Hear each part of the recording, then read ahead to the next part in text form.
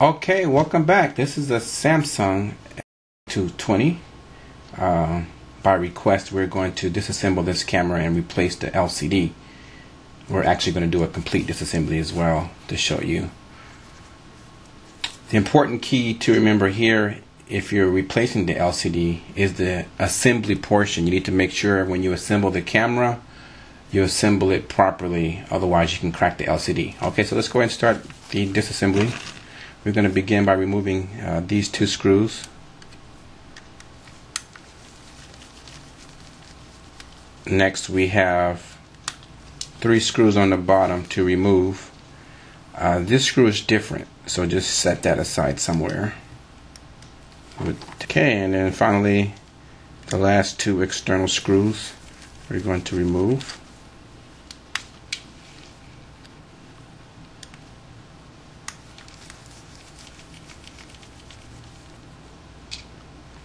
Okay, all the external screws are removed. We're now going to remove the back cover. You're going to need to carefully pry off this portion here to remove the back cover. I'm just going to show you, we're just going to kind of stick our finger in here, start prying away.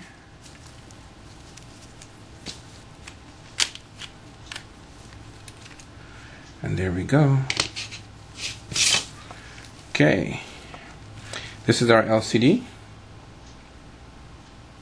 I'm to first start by just removing the LCD off the frame. You're basically just to carefully, you could probably just tilt the camera over like this. Alrighty. Okay, we got three screws to remove. One, two, and three. Sometimes there's a screw right here, sometimes there's not. Okay, so let's go ahead and remove these screws. These are a little bit larger than the other screws that we just removed.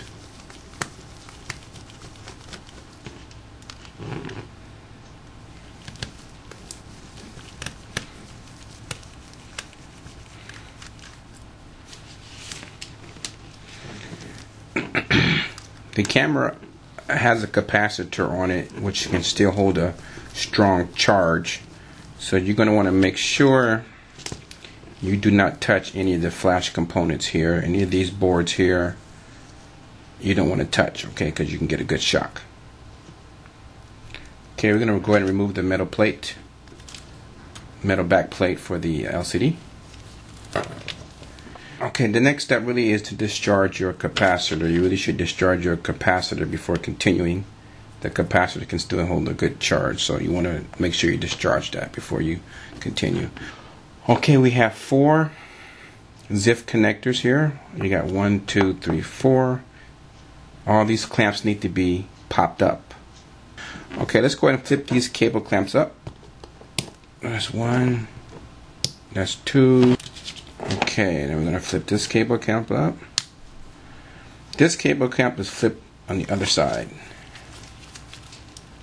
So we'll go ahead and flip it like this.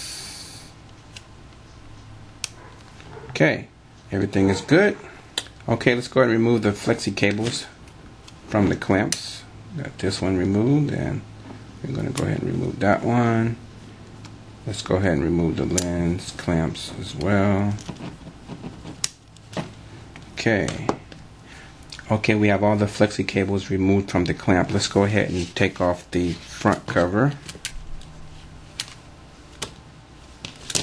And you can see the uh, front LCD just comes right out.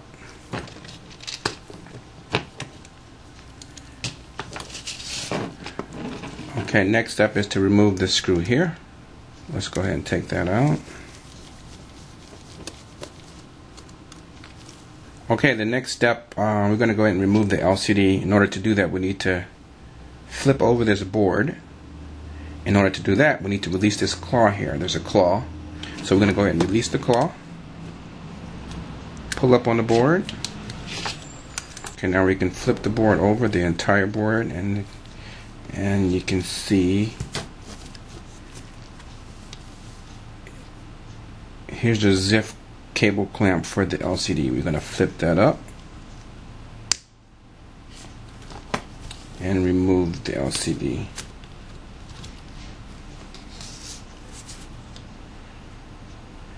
Okay, let's continue with the disassembly. We're going to remove the lens. Okay, we got to. There's a screw here we need to remove that holds the lens in place.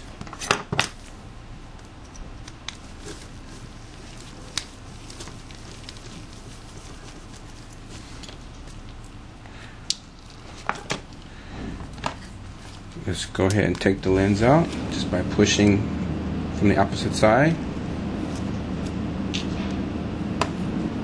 To remove the board, you need to remove this clamp here. I'll just take some tweezers and you can pop the clamp out like that and remove it.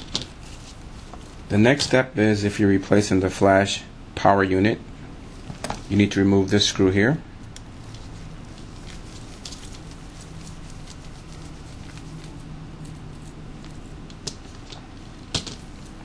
The next step is to pry off your speaker. In order to do that, you're just going to stick tweezers or some pliers underneath here and and just pry that off. And then you can remove your flash power unit. If you're going to replace the door, go and open the door you're going to have to remove the epoxy here that holds the bar in place. And you're just going to push down on the pin here and pull out the bar as you can see.